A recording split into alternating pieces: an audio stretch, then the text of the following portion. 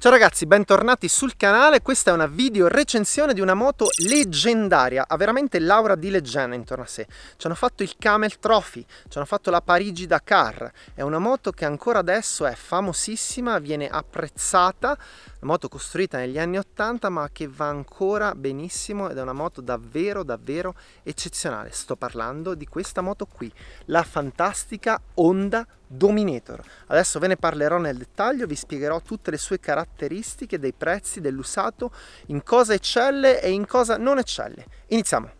Allora ragazzi, prima di tutto un po' di storia di questa moto. La produzione inizia nel 1988, quindi un anno dopo la, la messa in produzione della Honda Transalpa che invece era nell'87. Pensate Honda butta fuori il Transalpa nell'87 e poi il Dominator nell'88, pazzesco. La produzione è, è di tre serie di Dominator, il motore è sostanzialmente invariato, è un monocilindrico da 644 cm3 cubici. Non vi fate ingannare dal doppio scarico, è un monocilindrico. Il doppio scarico c'è solo perché è più bello, è una ragione estetica. Viene prodotta in tre serie, la prima serie ha fondamentalmente il sellino un po' più corto e un serbatoio da 13 litri e le frecce che sporgono all'esterno. La seconda serie, che è questa qui, ha la sella più lunga e il serbatoio cresce da 13 litri a 16 litri il resto rimane, cambiano le grafiche nelle varie serie, però il motore eh, la ciclistica rimane uguale. La terza serie invece viene poi prodotta nel 1994 in Italia allo stabilimento Honda di Atessa e fanno alcune piccole variazioni sul telaio per renderla un po' più stradale l'unica differenza è sull'impianto frenante chiaramente che quelle costruite in Giappone la prima e la seconda serie l'impianto frenante è Nissin e invece sulla serie prodotta in Italia chiaramente l'impianto frenante è Brembo. Alcuni dati tecnici. Allora la prima serie curiosità aveva oltre all'avviamento elettrico il kickstarter. Cioè quindi tu non rimanevi mai a piedi. Se si staccava la batteria se si scaricava tu comunque partivi con la pedivella, cosa che era richiesta dal pubblico di allora perché l'avviamento a pedale era un po' vista come una cosa da maci, no? soprattutto su moto che sono studiate per l'off-road. Altra caratteristica di questa moto particolare è che naturalmente il raffreddamento è completamente ad aria, quindi quello che non c'è non si rompe.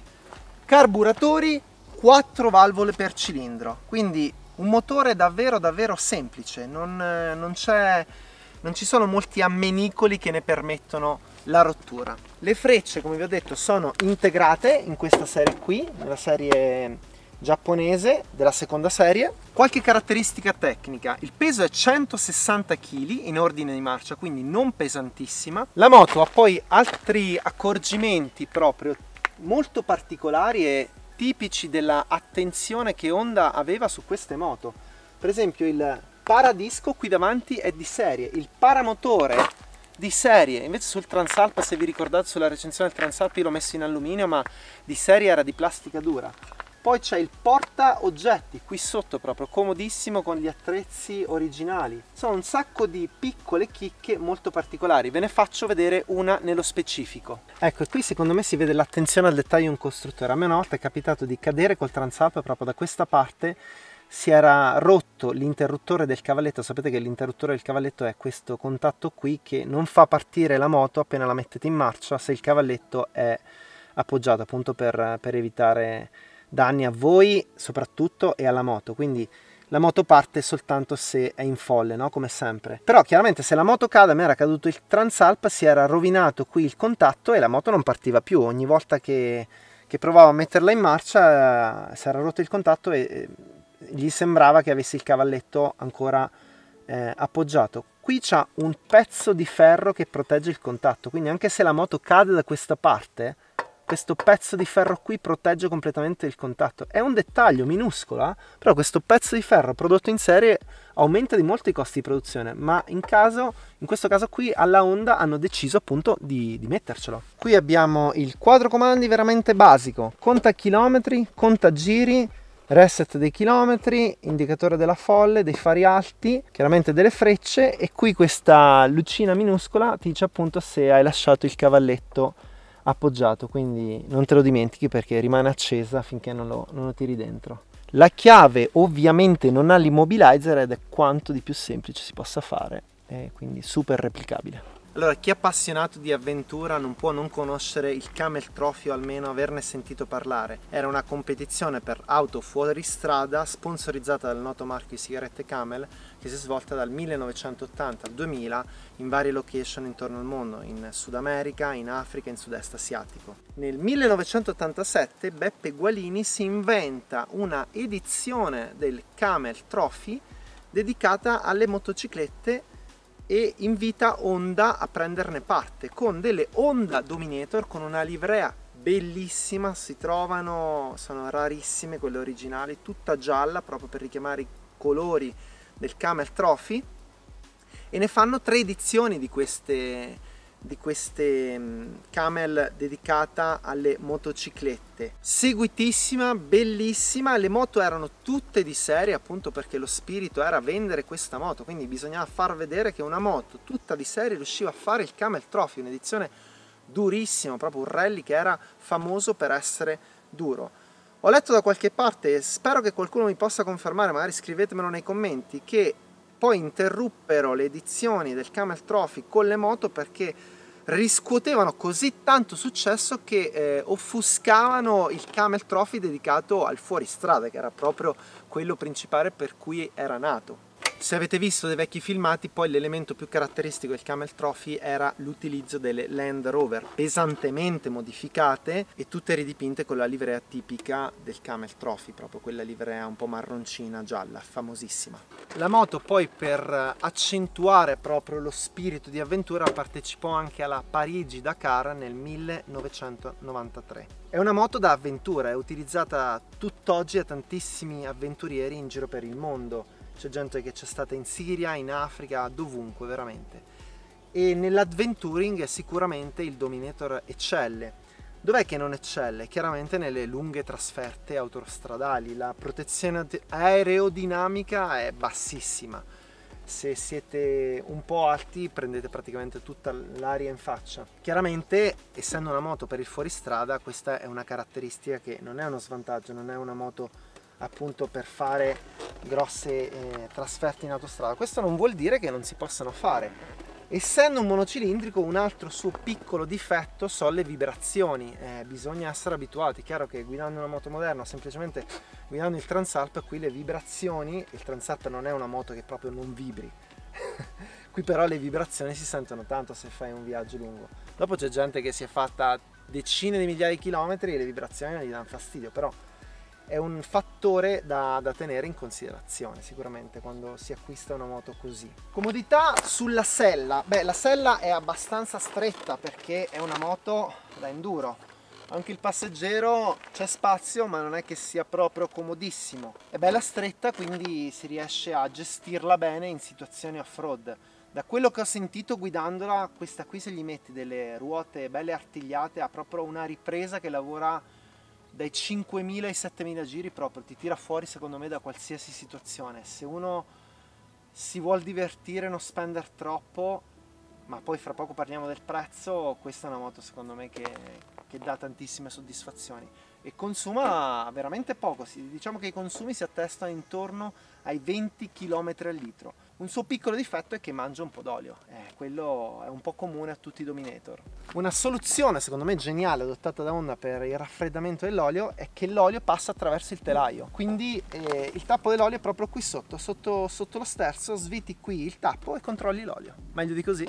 Naturalmente qui non abbiamo la spia della benzina, c'è solo un uh, pomellino della riserva, quindi quando la benzina qui finisce si gira e si va in riserva come autonomia siamo serbatoio normale 200 km più un'altra cinquantina di chilometri con la riserva. Costi parliamo dei costi. Devo dire che io l'ho valutata per molto tempo il Dominator e poi non l'ho presa appunto perché eh, volevo una moto adatta a fare viaggi soprattutto e ogni tanto andare in fuoristrada e quindi appunto per le vibrazioni e la ridotta capacità di carico del Dominator e poi alla scarsa comodità e lunghi viaggi ho preferito prendere il Transalp.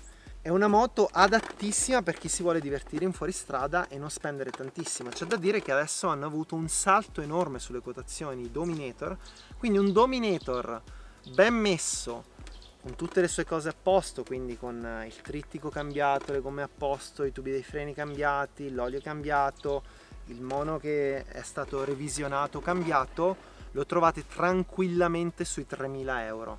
E se considerate che magari sono moto degli anni 80 è un prezzo veramente elevato perché magari aggiungendo 2000 barra 3000 euro in più comprate una moto di 30 anni dopo con meno chilometri. Quindi il mio consiglio è se volete proprio un Dominator dovete essere appassionati chiaramente di moto degli anni 80 e delle due invece di comprarne una a 3000 tutto a posto che poi è a posto ve lo dice il proprietario non sapete effettivamente tranne le robe visibili vedere cosa ha fatto magari prenderne uno che costa un po' meno e farci poi i lavori voi.